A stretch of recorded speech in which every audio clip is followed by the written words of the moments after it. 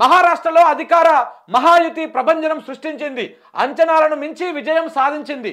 కాంగ్రెస్ లెక్కలను ఉద్ధవ్ థాక్రే శరద్ పవార్ ఆశయాల ఆశలను మొత్తం చెల్లాచెదురు చేసింది.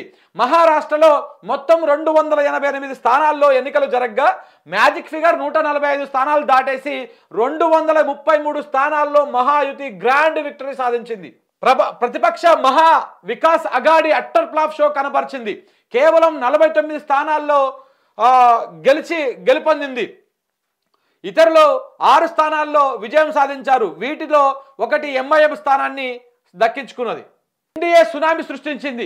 అసెంబ్లీలో టూ బై థర్డ్ మెజార్టీ సాధించింది. కమలం పార్టీ అతిపెద్ద పార్టీగా అవతరించింది. మిగిలిన పక్షాలు కూడా భారీ విజయాన్ని అందుకున్నాయి. బీజేపీ నూట నలభై తొమ్మిది స్థానాల్లో పోటీ చేసి నూట ముప్పై రెండు స్థానాల్లో విజయం సాధించింది. ఎనిమిది ఎనభై ఐదు శాతం స్ట్రైక్ రేట్తో టాప్ ప్లేస్లో ఉంది. షిండే వర్గానికి చెందిన శివసేన ఎనభై ఒక్క స్థానాల్లో పోటీ చేస్తే యాభై ఏడు స్థానాల్లో అది విజయం సాధించింది.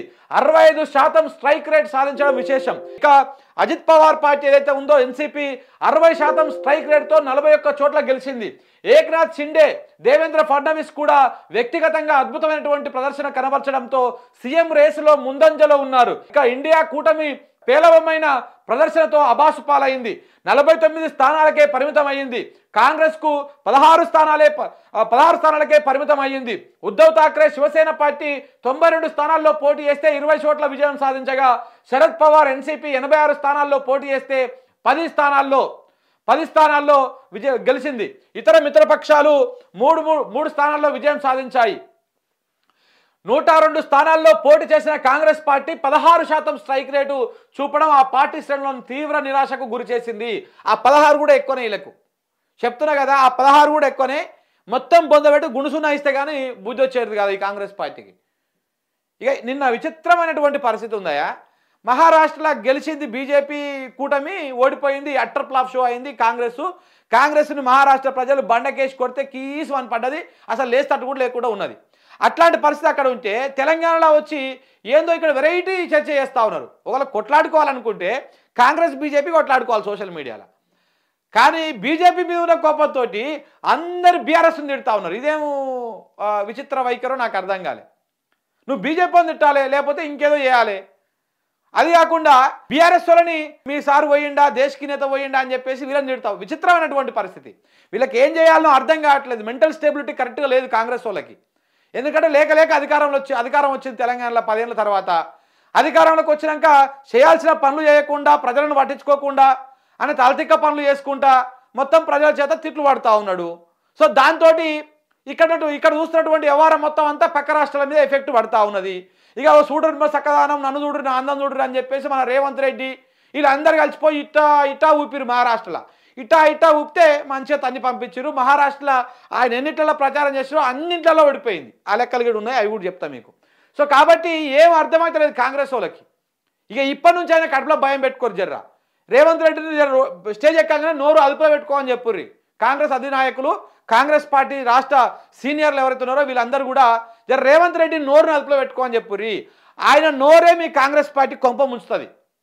రేవంత్ రెడ్డి నోరే మీ మీ కాంగ్రెస్ పార్టీ కొంప ముంచుతుంది. రేపు వచ్చే సీట్లు కాదు కదా కనీసం డిపాజిట్లు కూడా వచ్చే పరిస్థితి ఉండదు. ఆ బూతులు అట్లా తిడితే ఏది పడితే అది మాట్లాడు సోయి లేకుండా ఆయన ముఖ్యమంత్రి అన్నటువంటి జ్ఞానం కూడా లేకుండా ఇంగితం కూడా లేకుండా అబద్ధాలు ఒకటే అబద్ధాలు చెప్తాడు. ఇక చూడండి గిన్నె ఉంటుంది లెక్క. చెప్తా మీకు నేను. కొంచెం ముందుకు అనగా చెప్తా ఈ లెక్కలు. ఇగో ఈడనేమో ఫార్మాసిటీ కాదు ఇండస్ట్రియల్ కారిడార్ అని చెప్పిండు. ఈడ కూర్చొని ఇదే ముఖ్యమంత్రి. ఇగో ఈడనేమో ఎన్నడు దాదాపు ఏ- తారీఖు ఉంటాడు డేట్ కూడా ఉంటుంది. ఓ మూడు నాలుగు నెలల క్రితం డిసెంబర్లోనో ఏమో ఇక్కడ ఒక గెజెట్ ఇచ్చిర్రు. గెజెట్ ఇచ్చిర్రు. తెలంగాణ కాంగ్రెస్ పార్టీ అధికారంలోకి వచ్చిన కొత్తలా ఫార్మాసిటీ అని చెప్పేసి గెజెట్ ఇచ్చిర్రు రాజపత్రం. అంటే ఇట్లా అబద్ధాలు చెప్పుట్లా ఆయన మించిపోయినమాట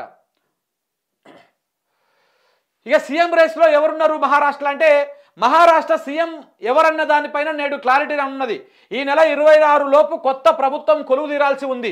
దీంతో మహాయుతి కూటమి వేగంగా నిర్ణయాలు తీసుకోవాల్సి ఉంది. నూట ముప్పై రెండు సీట్లతో అతిపెద్ద పార్టీగా బీజేపీ నిలవడంతో సీఎం పదవి దేవేంద్ర ఫడ్నవీస్కేనన్న చర్చ జరుగుతోంది. అయితే రేసులో ఫడ్నవీస్తో పాటు షిండే అజిత్ పవార్ కూడా ఉండటం మహా రాజకీయాలు ఆసక్తికరంగా మారాయి. అత్యధిక సీట్లు గెలిచిన పార్టీకే సీఎం పదవి ఇవ్వాలని ఏమీ లేదంటూ శివసేన చీఫ్ అదే షిండే వర్గం చీఫ్ షిండే పేర్కొన్నాడు. అందరూ ఒక్కసారిగా దీంతోటి ఉలికిపడ్డారు మరొక వైపు అజిత్ పవార్ కూడా ఆశపడుతుండడం విశేషం. దీంతో ఎవరు ముఖ్యమంత్రి అన్న దానిపైన మహాయుతి మిత్రపక్షాలు చర్చించి చర్చించి నిర్ణయము తీసుకోనున్నాయి. ఒక సీఎం రెండు డిప్యూటీ సీఎం పదవులు అన్నట్టుగా ప్రచారం జరుగుతూ ఉంది. వంద శాతం దేవేంద్ర ఫడ్నవీస్ సీఎం అవుతాడు ఈయన సీఎం అవుతాడు ఈయన ఈయన డిప్యూటీ సీఎంలు అవుతారు ఈయన ఈయన డిప్యూటీ సీఎం ఈయన డిప్యూటీ సీఎం అవుతారు ఈయన సీఎం అవుతారు ఆ మహారాష్ట్రకు ముగ్గురు సీఎంలు ఉంటారు అన్నమాట ఈ లెక్కన. అంటే ఒక సీఎం ముగ్గురు ఇద్దరు డిప్యూటీ సీఎంలు.